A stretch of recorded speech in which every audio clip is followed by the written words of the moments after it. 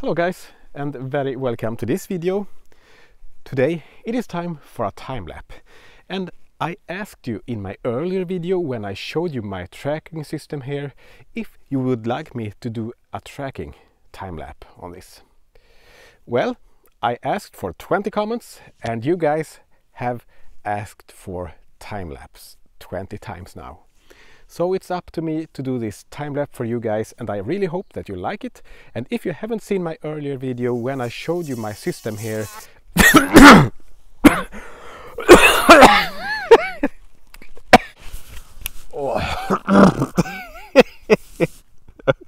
oh. that's crazy. Okay, so I will film this for 24 hours for you guys. So you can see when it is tracking the sun the whole day here. And it's a little extra good here because tomorrow we are expecting partly clouded sky. So it's up to the controller here to take care of that tracking. So we don't have so much drift going around because that's the problem with, with those trackers. Sometimes if you don't have set it up uh, correct or if you don't have the correct or any good tracker uh, the tracking will be all over the place when the uh, sun is in cloud there so it will be interesting to see how this day will end up so I had planned to do this for 24 hours. So now it's uh, pretty late, it's 11 o'clock in the evening and I am just going to start the GoPro here. So hopefully everything will be all right. I have put it on power there, so we are actually taking power from my big battery over there. So I charge my GoPro during the whole day and the whole following night here.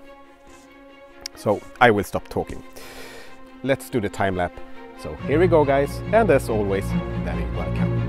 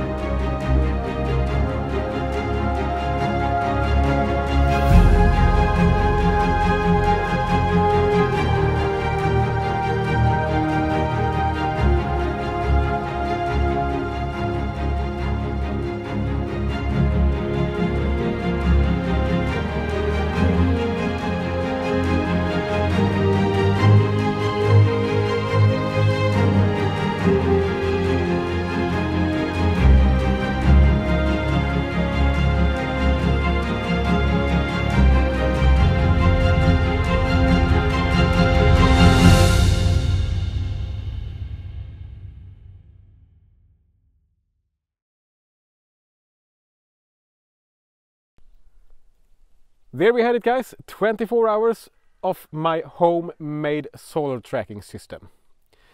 And now we are hopefully expecting some rain as you can see here.